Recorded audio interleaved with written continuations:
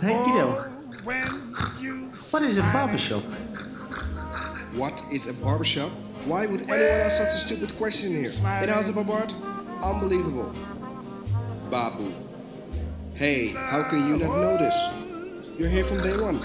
Because nobody explained it to me before. And you know, I'm just a dog. So, let me explain the barber story one more time. Music?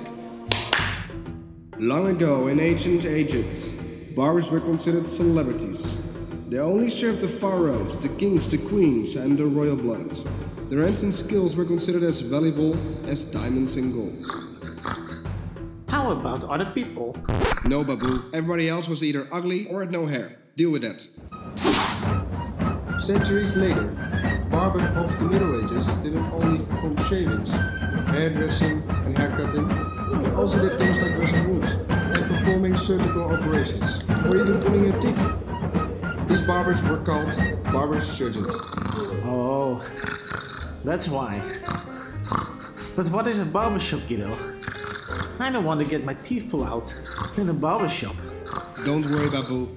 After many civil wars, most barbershops turned to their best form.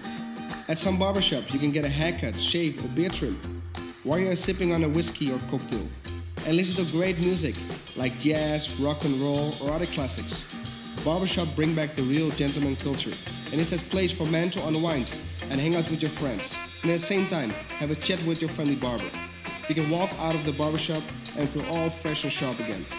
Every man deserves to go to a barbershop. Do you like to experience a real gentleman place yourself? Then come to House Barbaard. We are this classic gentleman place, but then the gentleman attitude. Come check it out!